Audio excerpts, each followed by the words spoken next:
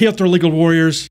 If you've been served with a restraining order, timing is really important. And sometimes you have more time than you think. If you're interested in this area of the law, stay tuned. This is the video for you. My name is Attorney Lance Fryrear. I'm a defense attorney in Lynnwood, Washington. My law firm's been defending people charged with crimes all throughout Washington state for more than 20 years, and I'm putting out these videos to help educate the public. So if you find this useful, please like and please subscribe. More people get to see it, more people get the help they need. Now, as always, I'm just going to jump right into it. What do I mean by a restraining order? Well, under the law in Washington state, it's actually called a protection order. But Google tells me we all look at restraining orders when we search, so for the purposes of this video, we're going to call it a restraining order. But basically, a restraining order is an action that one person brings against another person asking to have the second person, the respondent, restrained. Basically, don't have any contact with me, stay away from me, stuff like that.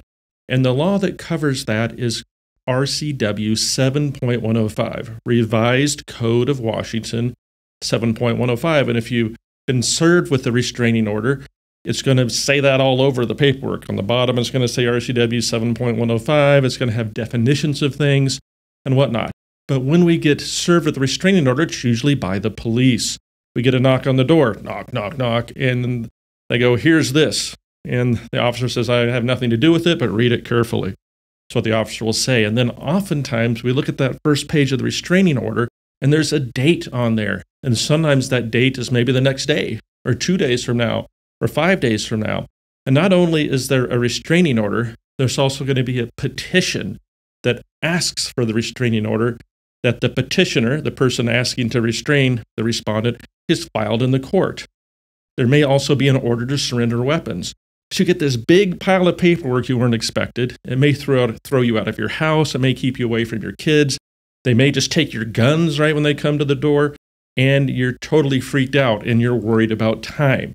And so, while timing is important in these cases, it's because they're civil cases. If there's a date that's on that protection order where they tell you they, they want you to go to court, if you don't show up at that court date, you could get a default order issued against you, which means you lose automatically.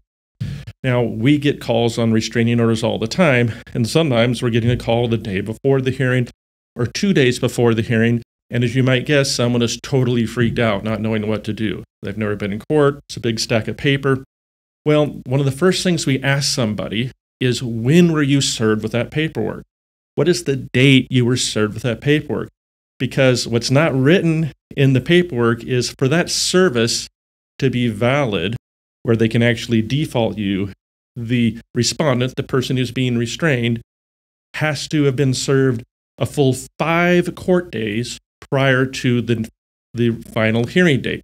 So, if the final hearing date for a permanent order, and permanent doesn't mean permanent, it means one year or longer. I didn't name these things. Um, if the hearing date is, let's say, September 30th, my birthday, by the way, don't send anything. Um, that means that the defendant or the respondent would have need to be served on September 23rd. Okay, I know September 30th is a Monday, so the respondent would need to be served on the prior Monday, September 23rd. Actually, that's the date I'm filming this is a, is a coincidence. So if you were served on September 24th for September 30th date, that's not five court days because we don't count the first court date were served on a Tuesday. The first court day is Wednesday, right? That's just technical things. So, what's that mean, Lance? Why are you telling me this? Well, that means relax. If you weren't served a full week ahead of time, five court days ahead of time, then when you go to the hearing, you're entitled to a continuance as a matter of law. You ask for a continuance, you must be granted the continuance because you were not served properly under RCW 7.105. Why I say five court days, what if it's earlier? Maybe, maybe there's a court holiday in there. Maybe Labor Day's in there, right? If Labor Day is in there, uh, then that's going to be eight full days because it's going to take an extra day to get the five court days. So, what if you were served like 10 days ahead of time and you're not ready to go? Can you still get your case continued? The answer is usually yes. Um, usually, if you go to the court date and it's the first time you've been there, and you ask the court for additional time, either to file a response or to try to get an attorney, the court almost always is going to grant that request. They don't have to, but the dirty little secret of the system, and maybe it's not so secret, is the system is overwhelmed by this terrible law that the legislature wrote that made it so broad and so easy for anybody to get an order on anybody else. Um, anybody can get an order on anybody because there are no checks and balances in the system, even if that's what the legislature may have wanted. There's too many of them. And so the bottom line is when an overburdened commissioner, an overburdened judge hears a request for a continuance, almost always they're like, thank goodness. They're not going to say that, but they're in their mind, they're thank goodness, and then they will continue it because it puts it off for another day because they've got this packed calendar. Now, there's some exceptions. I'm not going to name names here, but there are certain courts that I realize and certain particular judicial officers that will be much harder on a continuance issue, and they're going to have their own reasons for that.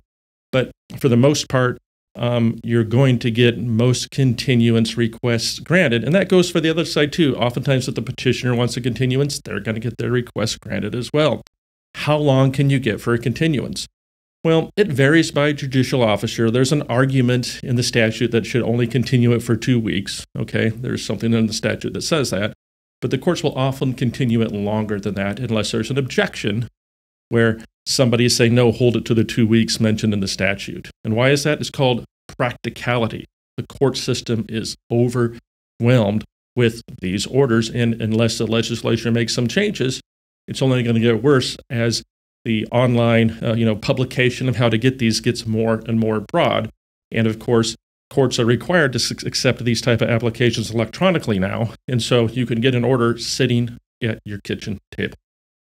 Um, so, why does time matter? Well, you're supposed to file a written response in these cases, and you need to res- file that response in a manner soon enough before whatever the hearing date is so the court actually has a chance to read it. If you file it the night before, they're not going to have read it. It won't even be in their computer system.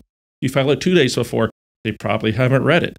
They got to the computer system, they probably haven't seen it. And so you're going to need to check with the court if you can find their local rules about how long you should file responses for. Three to five days is a good rule of thumb. This is not legal advice because I don't know where your situation is. And of course, at this point, you're not my client, although I do appreciate you viewing our videos to try to become educated. Um, when you file a response, you also are required to serve the petitioner with the response, just like you were served with their petition after the fact that explains why they want an order they have the right to see what your response is back.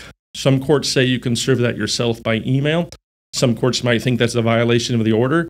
The best practice is to have someone else serve that response on your behalf, someone who's 18 years of age or older and not a party to the matter. Take a look at the petition and you can see three or four pages in um, it'll say an email address if the petitioner is agreeing to receive service by email. If that's blank, you might have some problems. You might have to use a process server. You might have to go to court and say, I couldn't serve it because there's no way to serve it. There was no email listed. Um, so, um, timing again, why is time important? Well, while this case keeps going on, if you're restrained, when they continue the case, they're not going to change the restraints. Those restraints are going to remain just like they were when the temporary order was issued ex parte without you knowing about it. Um, they may allow for a civil standby. You have to ask the court for you to get a few things with the police there, but you can't go there on your own. Um, you may be, you know, have the loss of use of a vehicle. You may be restrained from seeing your kids. All these type of things. And so, the longer the case takes, the more uh, the more uh, length of time those restraints are going to be stay in place and restrict your freedoms. And you know, you could get arrested if you're accused of violating it.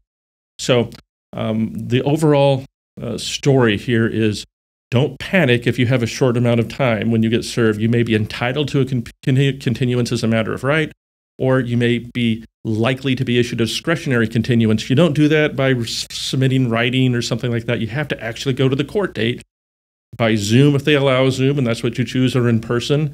If, if you choose to go in person, you have to ask for it when they call the case.